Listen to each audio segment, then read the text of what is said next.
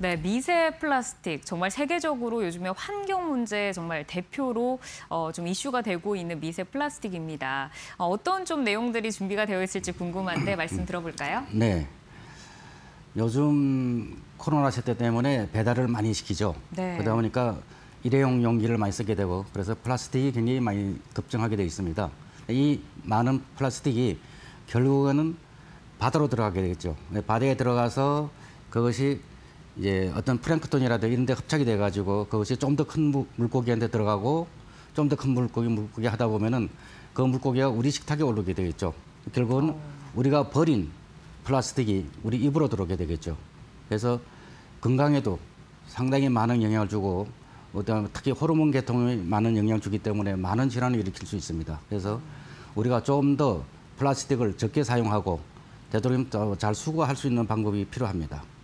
네. 최근 몇 년 동안 정말 국제적 환경 이슈로 대두가 되고 있는데 우리가 무심코 버렸던 미세 플라스틱이 돌고 돌아서 결국에는 우리가 지금 먹고 있었다라는 게 굉장히 좀 충격적인 좀 내용인 것 같습니다. 미세 플라스틱의 사용을 조금 줄이거나 아니면 규제할 수 있는 방법 같은 게 있나요? 네, 지금 여러 단체라든지 어떤 여러 회사라든지 굉장히 많이 또 이야기를 하고 있는데 네, 조금씩 이제 아직 충분하지 않습니다. 이제 막 시작을 했습니다.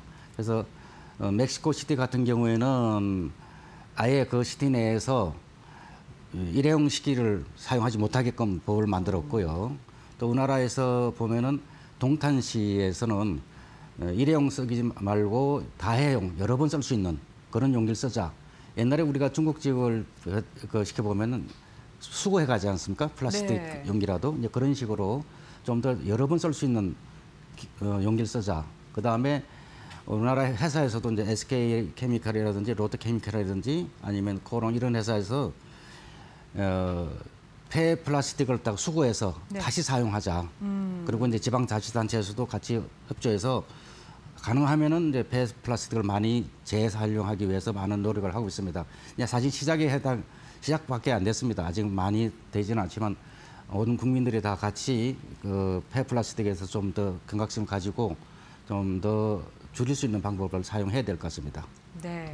일회용보다는 다회용을 사용하고 또 폐플라스틱을 다시 또 사용할 수 있는 리사이클링이 이제 좀 사회적으로 좀 번지고 있습니다. 우리의 건강을 위해서 여러분들 미세 플라스틱 주의하셔야 한다는 점 꼭 기억을 해주시고요.